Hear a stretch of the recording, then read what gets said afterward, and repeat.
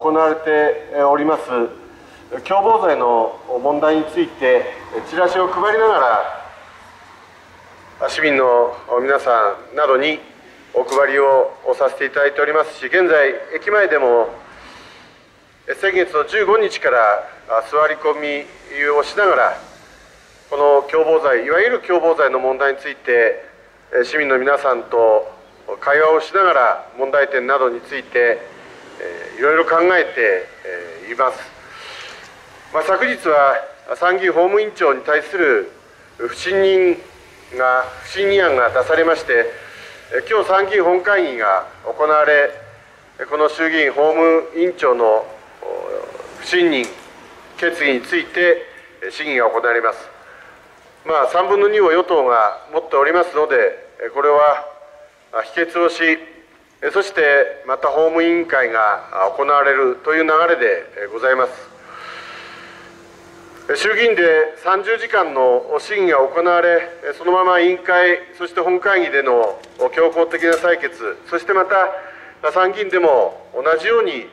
強行的な採決がされるのか、あるいは私たち反対をしていますが、多くの市民の皆さん、国民の皆さんの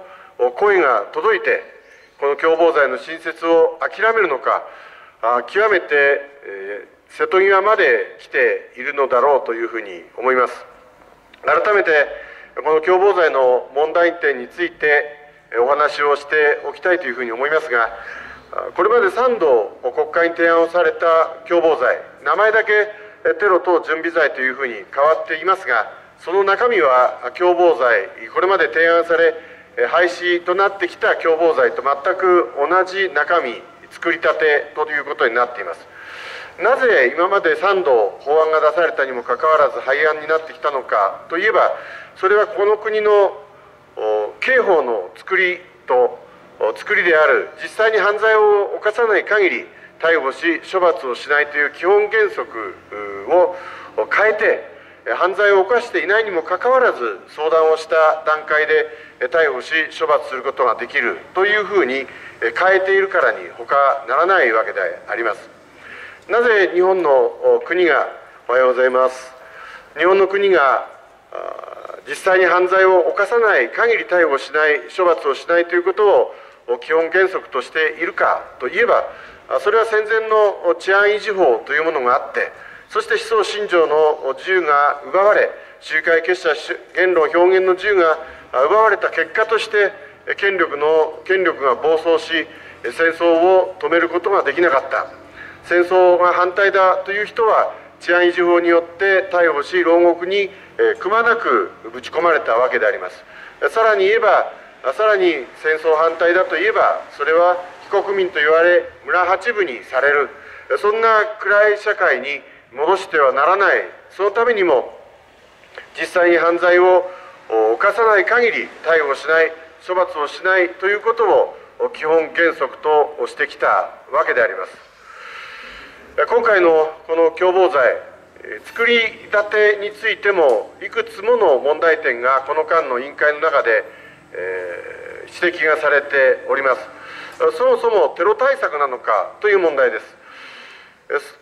安倍総理大臣の方安倍総理大臣はこの共謀罪を名前をテロ等準備罪というふうに変えれば国民が納得するだろう、まあ、こういう言い方をしたんだろうとそういうふうに思ったんだろうというふうに思いますがこれはまあ極めて姑息なやり方だと言わざるを得ません。この国際条約を作った今日のチラシにも書いてございますがそれを適用するためには勝手に法律を作ってはならないというふうに言っていますし決してこの批准をすべき条約がテロ対策のための条約ではないということもこの国連の刑法学者は指摘をしているようにですねそもそもこの条約そのものの批准をすると言っている条約そのものそのものがテロ対策ではないということであります。にもかかわらずテロ対策テロ対策といってそして、えー、まあイギリスでもテロが起こりというようなことがあっておはようございます国民の皆さんが必要ではないかというふうに、まあ言ってみれば、安倍総理大臣得意の印象操作が行われているんだというふうに思います。NHK のラジオを聞いていても極めて強い印象操作が行われていることはままあります、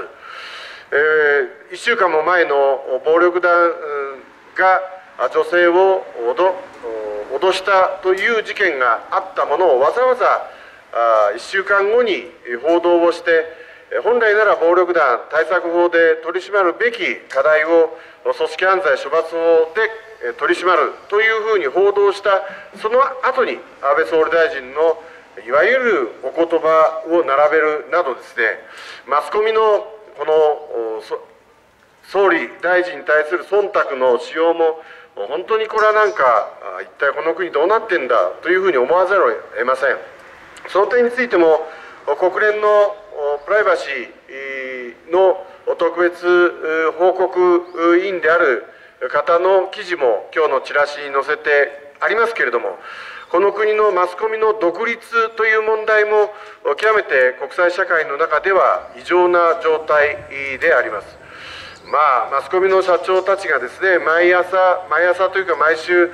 総理大臣と飯を食うなんていうこと自体がそれ自体がおかしな国際的にはおかしな社会だというふうに指摘さえされているマスコミの独立という問題は実は権力の暴走を止めるためにはマスコミはその機能を発揮しなければならないにもかかわらずそういうふうになっていないそのことも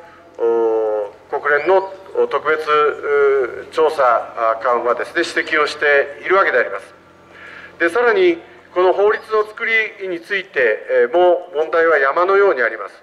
例えば犯罪の構成要件である共謀という問題や組織的犯罪集団であるということや準備行為という問題も極めてこの間の法務委員会の中の審議を聞いていても曖昧です。その場に居合わせてうなずいた目配せをしたメール LINE も共謀に当たると先週言ったかと思えば今週はメールや LINE は共謀に当たらないというふうに言い換える。あるいは組織的犯罪集団も結合の目的が組織的犯罪を犯すものというふうになっているものに限られるんだというふうに言ったかと思えば自然保護団体や市民運動団体もその対象になりうるというふうに言う、まあ、極めて金田法務大臣の資質ということも問題になるかもしれませんが実は金田法務大臣の方が極めて私は真面目に答弁しているのかもしれないと思っています。というのは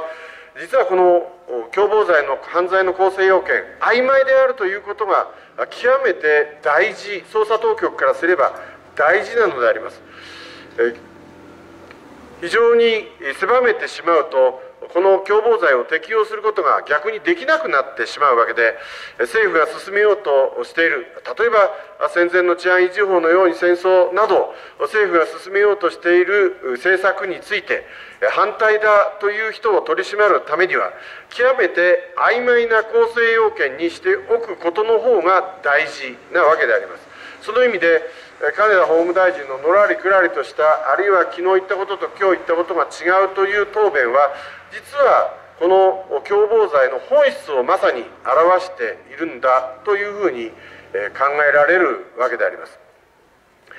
沖縄の平和運動センター長野県で言えば長野県平和人権環境労働組合会議松本にも松本地区労組会議というものがございますがここが沖縄の新基地建設に反対をする、ま、運動のリーダー的な役割をしてきた議長の山城博二さんって方がいらっしゃいますこの山城さんは3年前に松本市役所にも訪れてえ沖縄の新基地問題についてえ理解を広げるそんな取り組みもされた方であります。私と同じ名前の広次というもんですから極めて親近感が持たれる持つわけですがこの山城さんが昨年10月18日に、極めて微罪で逮捕され152日間に及んで、逮捕拘禁をされたということがございました。かようにですね政府が進めようとしていることについて反対だという人たちを共謀罪で逮捕し、拘束をしてしまう、捜査をしていく、こんなまさに治安維持法と同じような、平成と同じ、平成の治安維持法とならないように、これから私たちは最後まで、えー、問題点を市民の皆さんに訴えながら、国会では数の力では負けてしまいますので、国民の声で、まさに憲法第12条の要請に応えて、私たちは不断の努力を続けていかなければならないということを最後にお訴え申し上げまして、えー、社民党松本総支部代表の中川博次でございますが、本日の街角トーク、市役所の前からお送りさせていただきました。ご清聴いただきありがとうございました。